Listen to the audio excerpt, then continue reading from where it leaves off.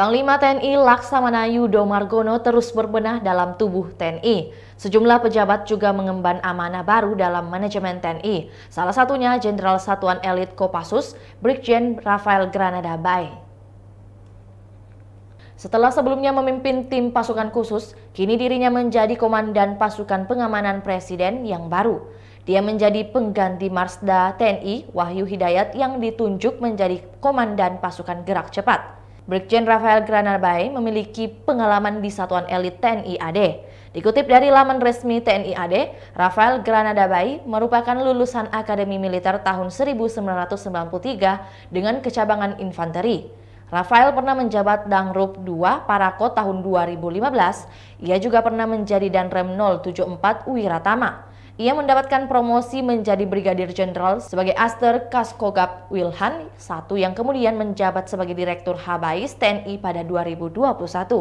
Kini, berdasarkan keputusan Panglima TNI tertanggal 31 Januari, Brigjen Rafael ditunjuk oleh Laksamana Yudo Margono sebagai Danpas Pampres.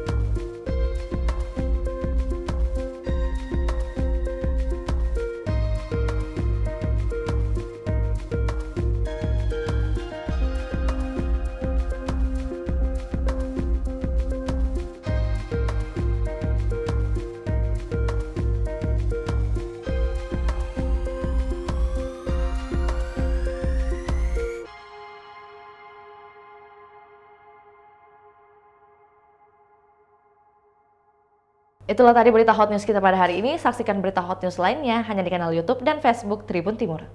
Terima kasih sudah nonton. Jangan lupa like, subscribe, dan share ya.